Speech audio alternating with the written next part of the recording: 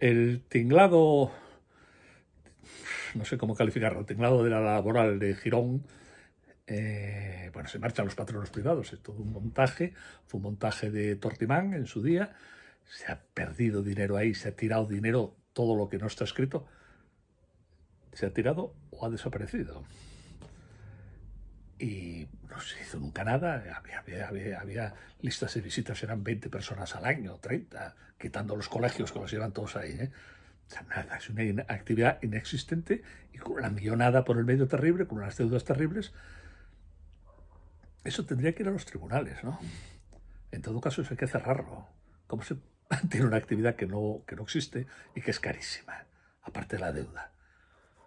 Aparte que si llevan el, el camino de Santiago de Oviedo, se lo llevan para ahí para eh, meter los dineros del camino a, a, lo que les interesa, a cubrir esa deuda. Por cierto, alcalde de Oviedo, Cantelli, ¿está satisfecho? Estamos ya en mayo con lo que se hizo.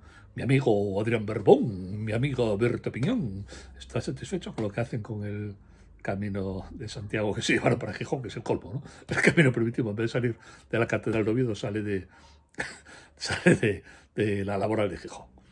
Bueno, el caso es que eso se derrumba, se llevan años derrumbando, siguen metiendo dinero, es, peor que un oso en su día, y insisto, alguien tendría que ir a los tribunales, ¿eh? porque ahí podría ir a la cárcel un montón de gente. Es como lo del Niemeyer, o peor, no, bastante peor que lo del Niemeyer, que no sé cómo está lo de la cárcel ahí, pero, pero bueno, por lo menos hubo sentencias condenatorias.